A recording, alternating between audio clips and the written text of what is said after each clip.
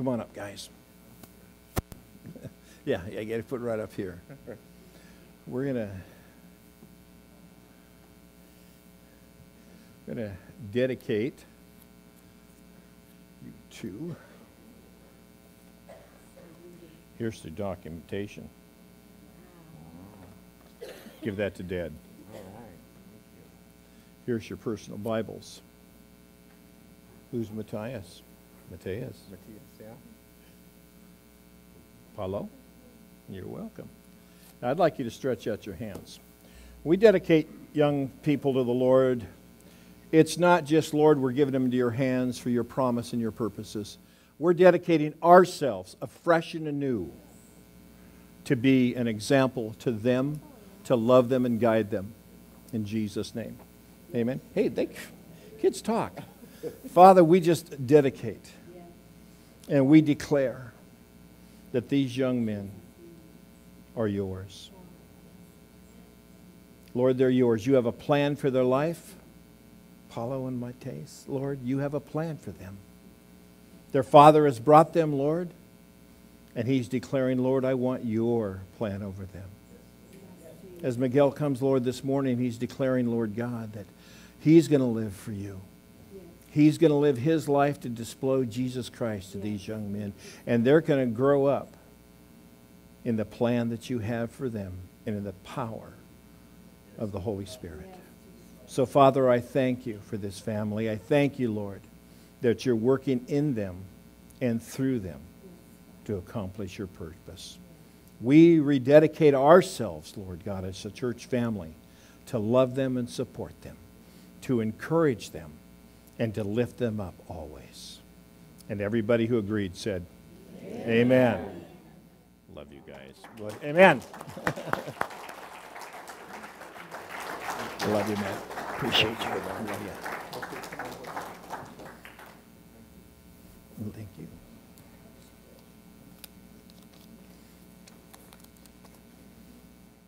How many have uh, heard or read Paul Harvey's uh, The Price They Had to Pay, the 56 signers of the Declaration of Independence? So if you're interested, here it is. I copied off 30 copies. And, uh, you know, just the fact that when they signed their name on the Declaration of Independence, that was their death sentence. That was, that was treason. And they signed it openly, and John Hancock signed it very big, and he says so that King George couldn't miss it. but uh, if you're interested, here they are. It tells you what happened to each one of them. A number of them died during the thing. A number of them went bankrupt, giving everything. And uh, I think it's important as we are Christians that we stand in the blessings of what we've given from other people. Righteousness exalts a nation, but sin condemns it. It's a reproach, it's a disgrace, it ruins it to any people.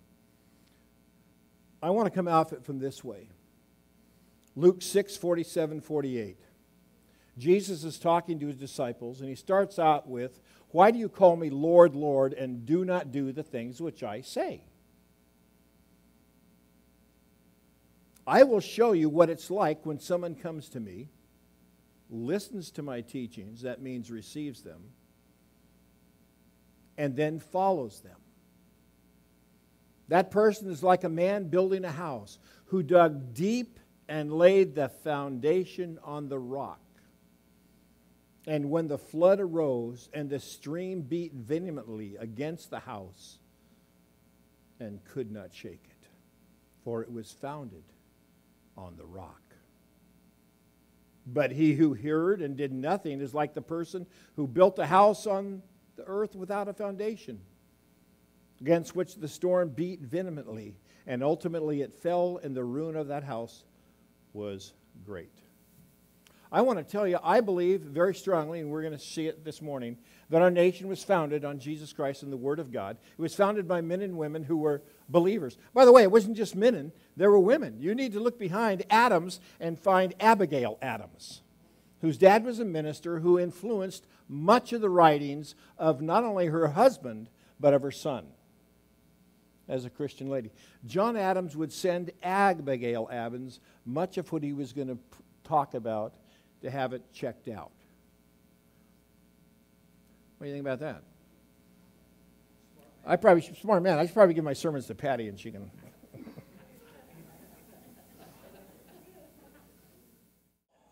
Loved ones, this is true for our nation, and it's true for you and I. As we build our lives on the foundation of truth, God's word and His promises, as we're being followers of Jesus Christ, but being followers of Jesus Christ, you know what it doesn't exempt us from? Storms of life. You know, I, I, remember back in the 70s, oh, try Jesus, everything will be fine. Try Jesus, things are going to get crazy. When you commit to Jesus Christ, Satan's going to come at you with everything he's got. But greater is he that's in you than he that's in the world. When Jesus said, You, you come to me, you accept me. I'm not a candy bar you just try. Oh, that didn't work. I didn't like that one. I like almond joy better. You know, no.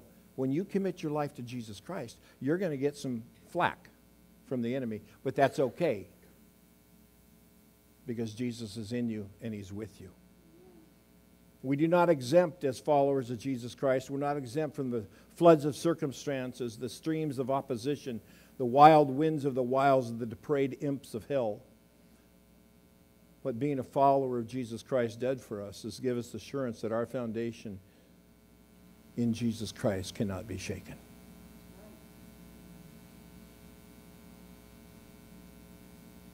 Greater is he who is within you than he who is in the world. No weapon formed against you shall prosper. As we, loved ones, continue to stay centered in Jesus, his words obedient to his whisper as well as his word, and pray, we as a people and we as a nation will weather the storms of the demonic. Those who listen to my teaching. When they come to me, listen to my teaching, they're obedient to it, and then they continue in it. I believe there's a large group of people in America who are still founded on the rock, and I don't think we're going anyplace. We may go someplace, hey, look, look, look, if we're going to get raptured, I'm fine. I, I don't have any problem with that. I got student loan that they're not going to forgive now. and I got to keep paying on it.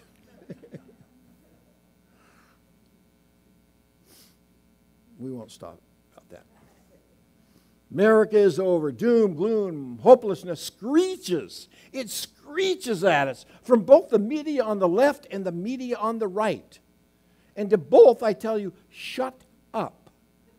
God is greater than your doom and your gloom and your screeching, which drive me crazy. Well, I was already there. It just short walk, yeah. That's going to be a tough morning. I can see that right now. I want to tell you something. If we are in Christ, committed to Christ, following and obedient, our lives are built on the foundation of Jesus Christ. And I believe as we do what God has called us to do, as we pray, as we stand up, don't back up.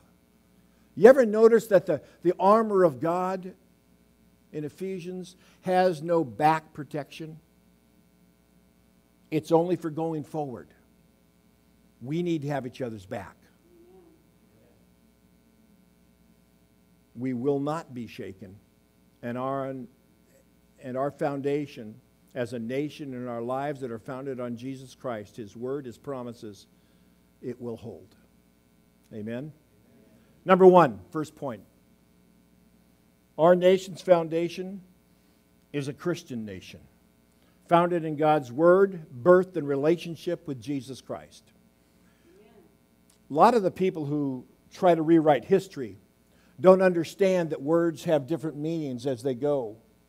If you read, uh, New, uh, you read a King James version of the Bible at the end of Acts, uh, one of the old versions of King James. There's been like 13 of them recently. The old version says that Paul picked up his carriage and walked. Man, he was a strong guy. Well, that word carriage means baggage or luggage, if you read it in modern thing.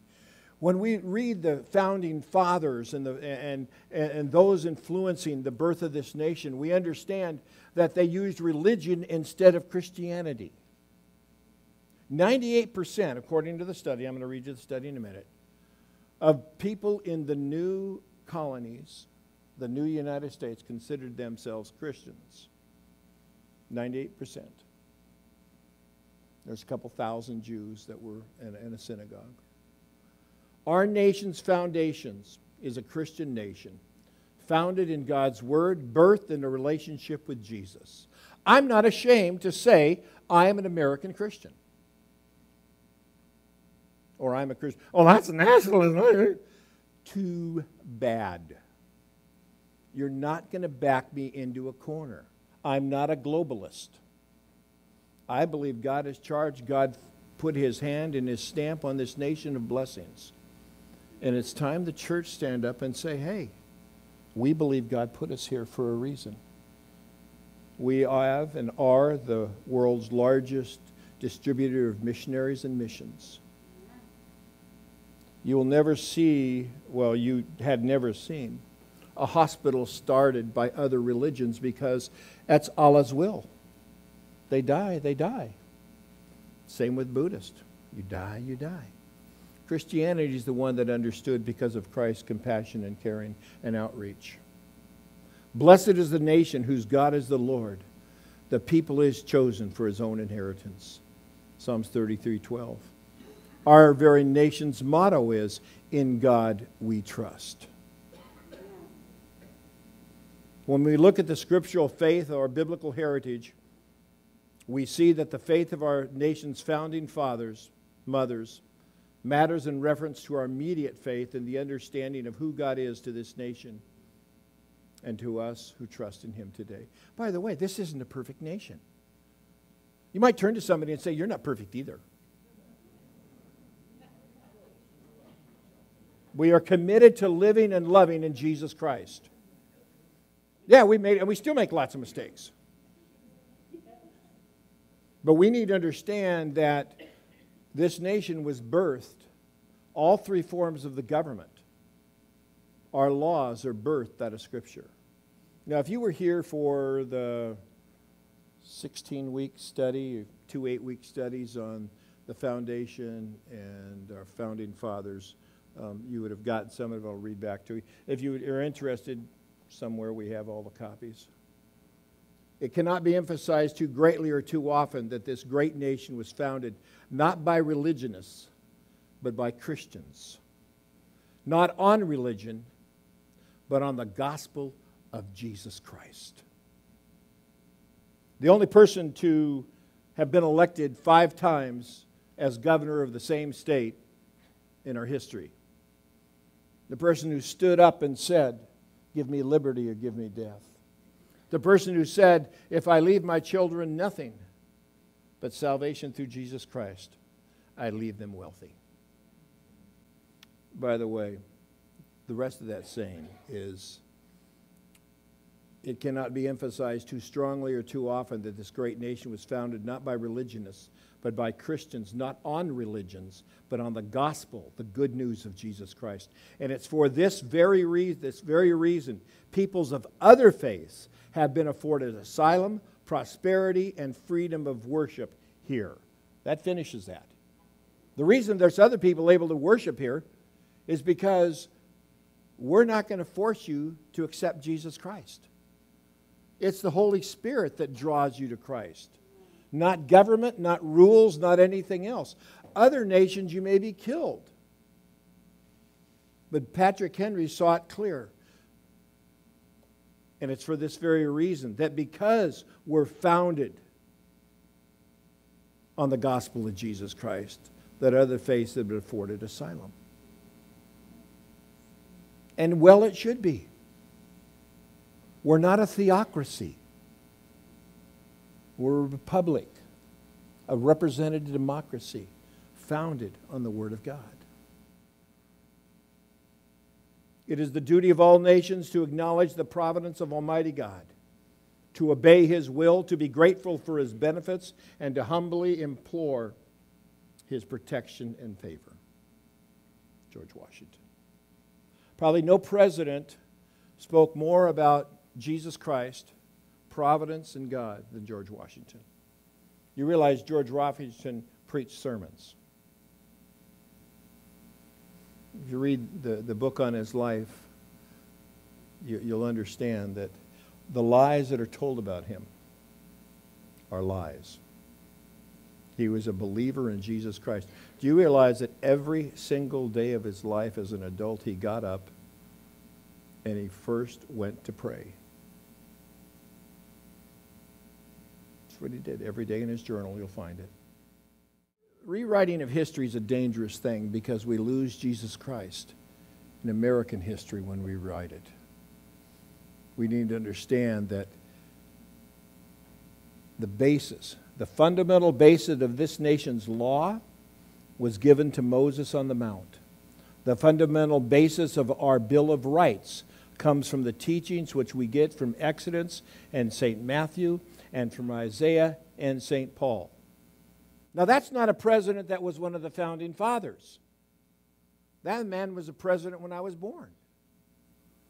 That tells you how old I am. Right there with Moses on the Mount.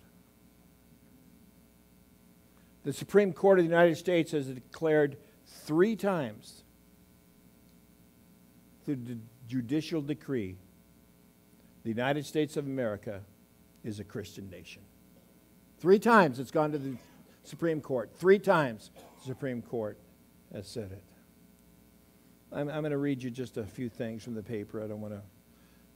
I, I hope you understand and are able to confront those who declare that the United States is not a Christian nation.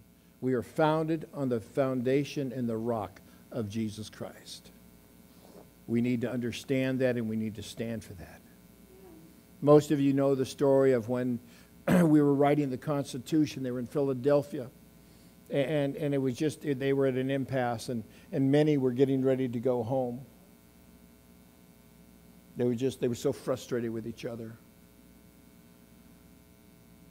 These are all strong minded men, all have their own views and opinions.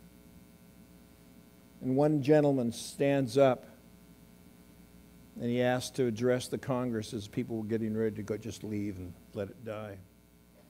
I have lived, sirs, a long time. And the longer that I live, the more convincing proof I see of this truth that God governs in the affairs of men. And if a sparrow cannot fall to the ground without his notice, it is probable that an empire cannot rise without his aid. How can we be assured, sir? We, can be, we have been assured, sir, in the sacred writings. Except the Lord build the house, they labor in vain who build it. I firmly believe this. I therefore beg leave to move that henceforth prayers imploring the assistance of heaven and its blessings are on our deliberations, deliberations be held in this assembly every morning before we proceed to business, and that one or more of the clergy of this city be requested to officiate in that service. Now, if I'm, before I tell you his name, some of you already know. Some of you, oh, no, he couldn't have said that. Yeah, he's the one who saved us from, and helped us get a constitution. Oh, he's a deist. Oh, no, he's not. He's a firm believer in Jesus Christ. Here's the reality, folks. Just because they didn't act, oh, I don't even want to use that word. They didn't act like they should have acted all the time. Didn't mean they didn't believe in Jesus Christ as Lord and Savior. By the way, that was Benjamin Franklin.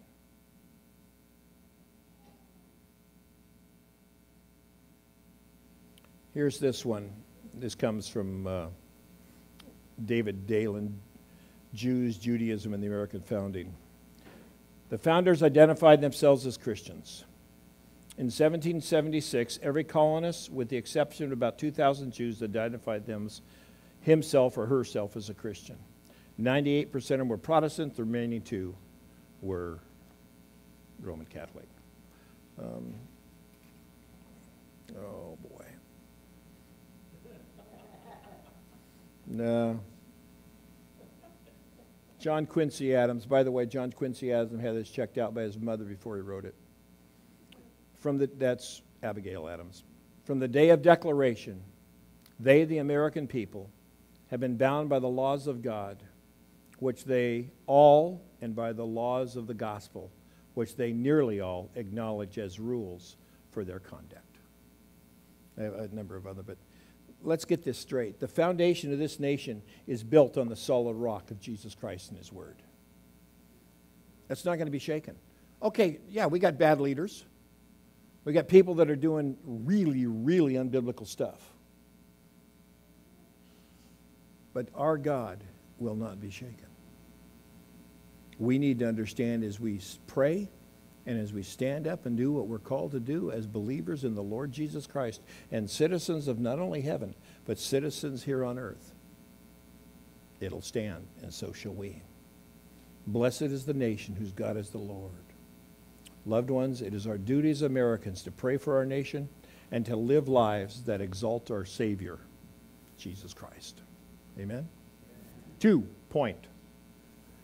Our personal lives, our foundation affects our nation. Again, it's talking about the fact in Luke where, hey, how are you going to live? Are you going to follow it out? Are we going to say we're a Christians and then acquiesce to all the other stuff? No. Jesus says as we live it out, we need to live it out. I will show you what it's like for someone comes to me, when someone comes to me, listens to my teaching, and then follows it. That person is like the person building a house who dug deep on the foundation of the rock. They continue to follow it. Folks, as we continue to love the Lord and love people in Jesus Christ, it's going to show.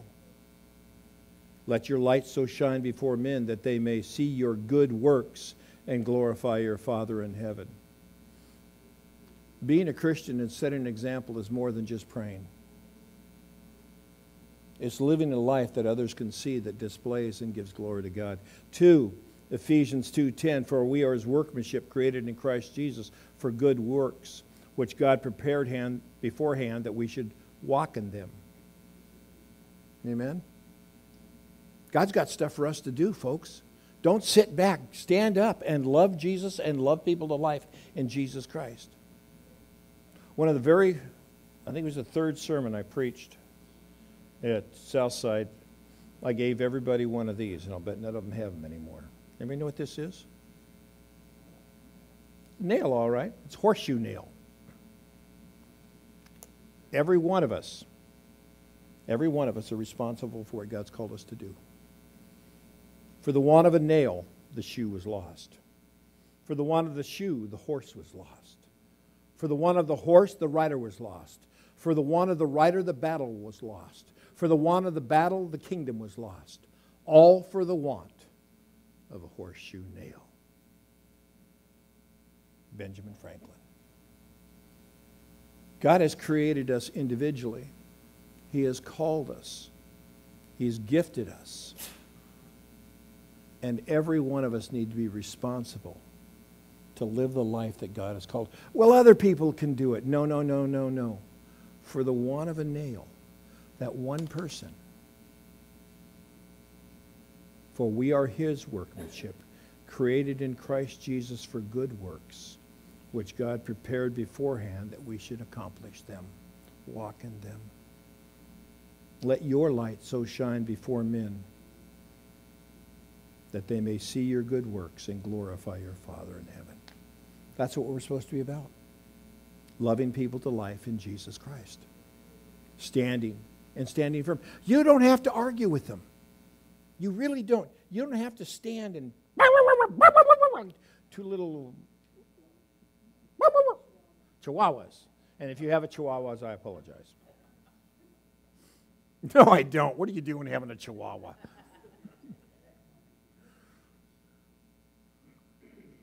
It is as each one of us do our part, the part assigned to us by God, staying in right relationship with Jesus, obedient to his word and his whisper, that our individual lives and thus our nation will weather the storms of this demonic schemes and we will come out victorious through Jesus Christ our Lord.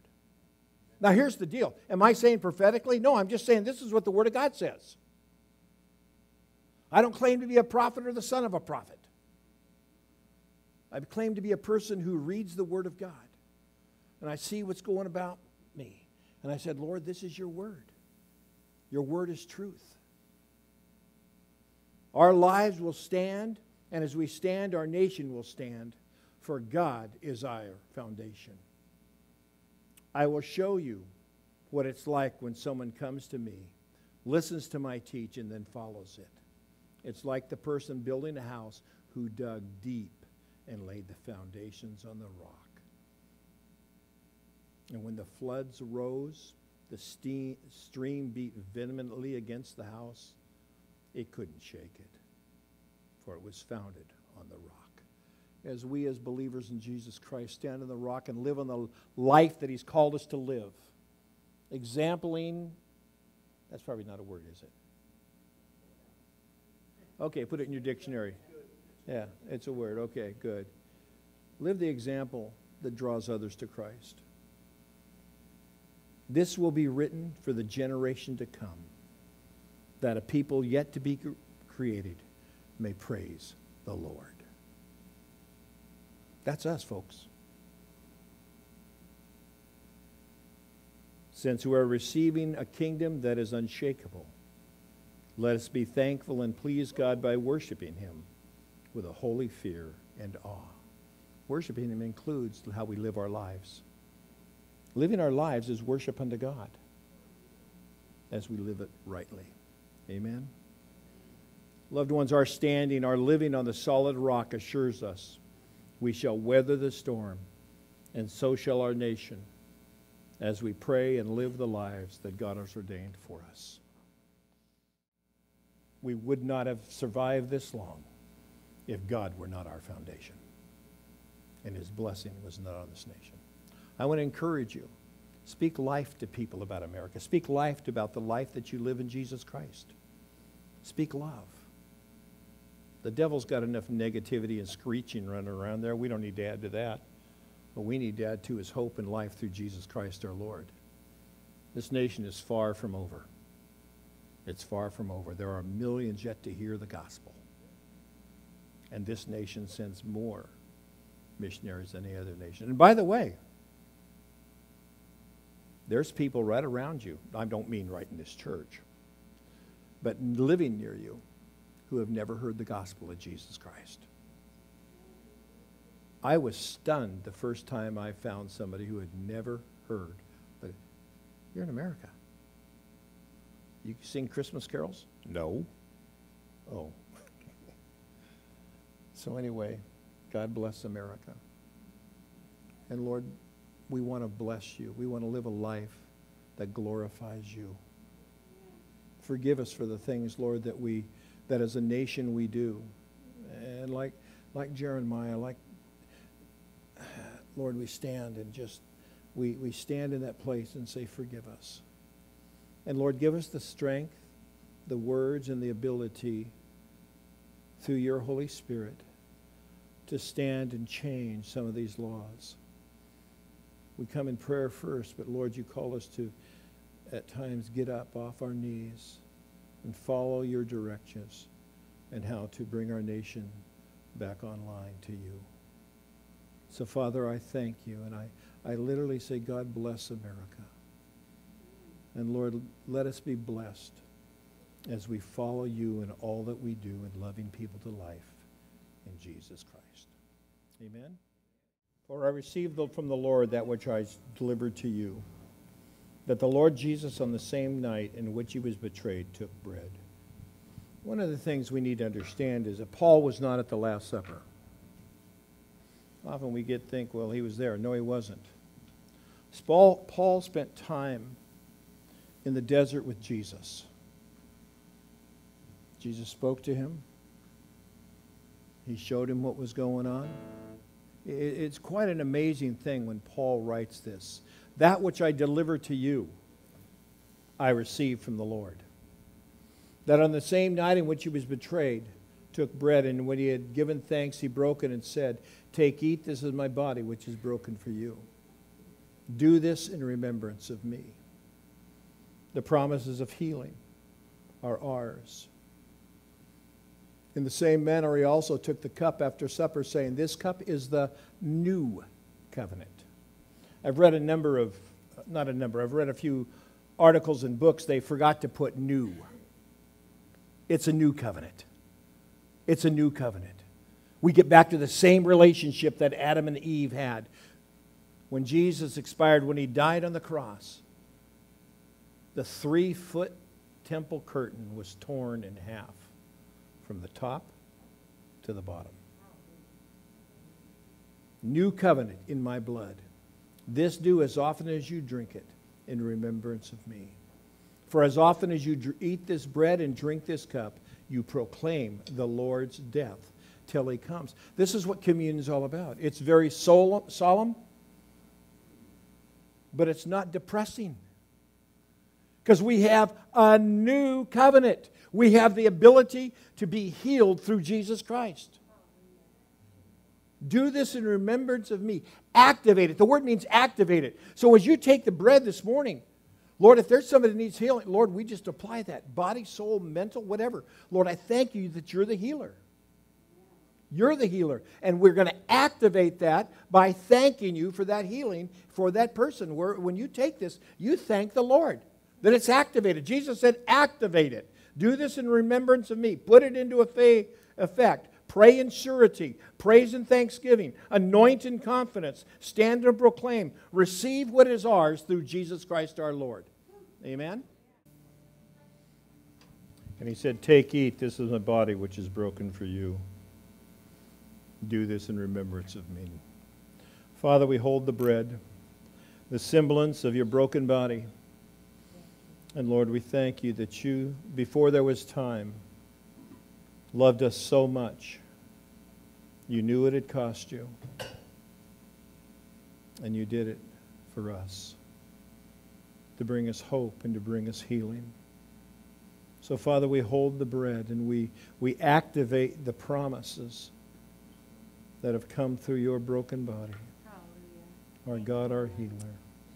And we, Lord, make them applicable to that person that we're thinking of that needs your touch this morning. Please eat.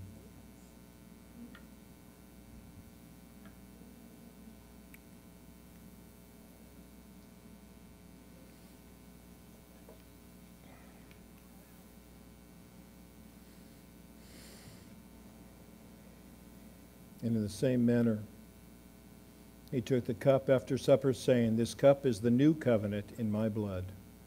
For as often as you drink it, drink it in remembrance of me. For as often as you eat this bread and drink this cup, you proclaim the Lord's death till he comes. Father, I thank you.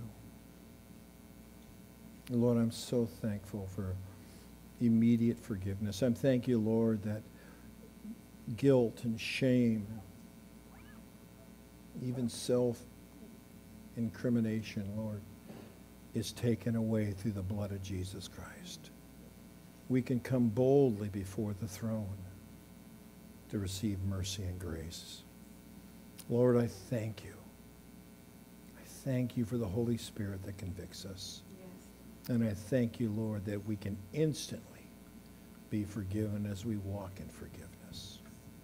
We do this in remembrance of you. Amen.